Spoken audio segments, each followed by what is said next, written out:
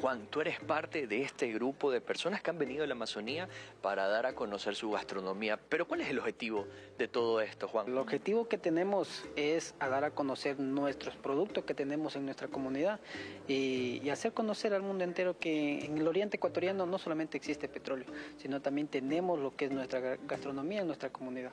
Bueno, vamos a hacer algo. ¿Te parece si me llevas a la cocina y me muestras un poco más de eso? Claro que sí, vamos, te invito. Vamos y voy a probar los platos. Bueno, Wilson, normalmente el ceviche nosotros lo preparamos y utilizamos el, el pescado dorado, pero ¿qué pescado utilizan aquí? Bueno, en la Amazonía nosotros estamos impulsando últimamente lo que es el paiche. Es un pescado de agua dulce que llega, llega a medir de 4 a 5 metros y llega a pesar unas 200 libras.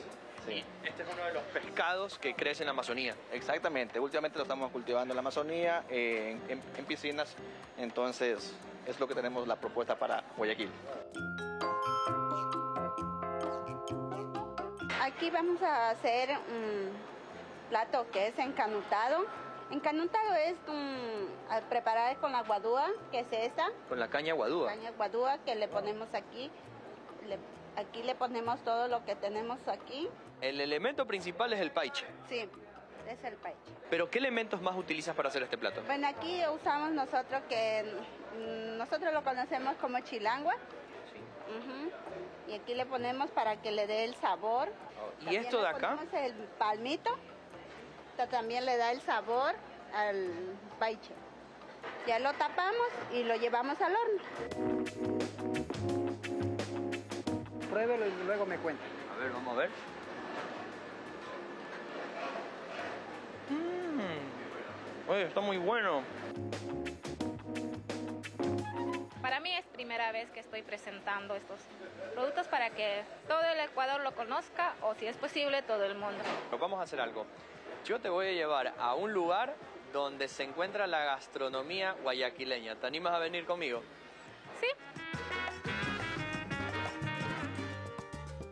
Ricky, hay un propósito muy importante de que ellas estén aquí en Guayaquil tratando de compartir justamente su gastronomía ancestral.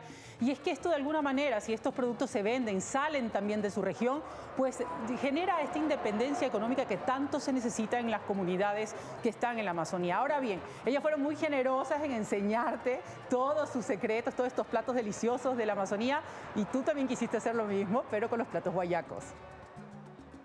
Correcto, yo no me quise quedar atrás, chicas. y bueno, les dije que lo prometido es deuda. Yo los quise traer a probar algo súper guayaco y es un buen encebollado. Pero antes que nada, yo quiero saber, a ver, Nilda, eh, perdón, Jenny, ¿en algún momento usted probó el encebollado o no? No, nunca he probado. Primera vez que vengo a- a- aquí a Guayaquil, entonces voy a ver qué tal está. A ver, Va- va- Vamos bien, a ver. Juan, ¿usted? Bueno, yo realmente sí lo he probado, pero lo que me doy cuenta es que acá lo comen con chifle y nosotros ya lo hacemos con el canguil. Ah, lo comen con canguil. Con canguil. Sí, señor, con el canguil eh, sale como más bueno, pero voy a probarlo con Claro. el chile, de, de ver, de ver qué, qué pasa. Yo estoy es con su Juan, o sea, es que los, Sí. los amazónicos Sí, y los de la sierra nos parecemos un poco en nuestras costumbres. Yo también Sí, le sí. habría puesto canguil antes que chifle. Exacto. A ver, pero algo, chicas, que yo les quiero te- te- eh, que mencionar es que acá mi amiga Nilda me comentó que ella siempre a todas las cosas le echa un ají y esto es el ají negro, ¿no? Pero en este caso, Nilda, yo la verdad que a mí me gusta mucho el ají, pero quiero probarlo. O sea, dime la verdad, ¿esto pica mucho o no? Eh, sí pica mucho. Es, este es el alto. Vamos, vamos a hacer algo. A ver, Pruébalo. voy a probarlo. ¿Se lo puede probar normal o, o puedo echarlo en el encebollado? Eh, se le puede echar en el, en, en el cebollado o A ver, va- vamos a ver, vamos a echarle rapidito en el cebollado porque sé que tenemos pocos minutos, pero algo, algo que me No sorprendió te mucho, chicas, bueno, para ustedes ver vieron cómo en te el pica el informe. ají tenemos toda la tarde. Movemos la programación. La cara le cambia Ay, Dios completamente. mío, ¿ves? usted, Dios, me cambia la cara totalmente. A ver, esta cantidad yo creo que está bien. ¿Lo puedo probar así, Nilda? A ver, pero un zoomcito, porque no, no vemos sí, la cantidad. un zoom. Cámara, Sí. por favor. A ver, vamos a ver, ahí está poquito porque si le echo mucho tengo no miedo de que me pique y- se me duerma la Ni lengua. siquiera lo vemos. Ya, bueno, vamos a ponerle un poquito más. A pedido del público, a pedido del público vamos a poner ver, ahí ahí está. sí es difícil. Ahí está, vamos. Ya. A Ya, ver, ok. ahí vamos, a ver.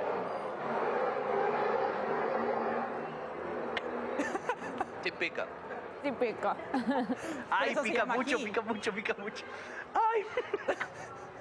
Pero tú ya estás acostumbrada. Yo sí, Y a todo le echas ají. yo sí todas las comidas también que a yo todo. voy comiendo, yo siempre cargo esto para... Tócale come. porque A ver, vamos a probar, chicos. Vamos a probar rapidito. A, ver, todos Nilda, a por favor, vamos a probar el encebollado. A ver, a ver qué tal. Si quiero Mm. sus impresiones. A ver, primero, Jenny, me mencionaste que no, nunca lo habías probado. ¿Qué tal te parece? Está riquísimo. Eh, ¿Qué sabor se te viene a la boca? O sea, es muy eh, mariscoso, la yuca la sientes. Am, no puedo explicar porque sí está rico. Está bien, Lo importante es que es está rico y lo importante es que a mí me trajeron un vasito con agua porque Ricky, a mí lo interesante de verdad de te picó mucho. A ver, Es la fusión, ¿no? Estamos- que Sí, podemos, las que podemos pasadísimos, Ricky, así que te agradezco un Sí, montón bueno. y a, a- a los tres también por Sí. este intercambio cultural. Ojalá por ahí esto inspire, no sé, por ahí un encebollado de paiche en la Amazonía. Exactamente, esa ¿Quién quita que eso fusión amazónica costeña. me dijeron que lo van a hacer.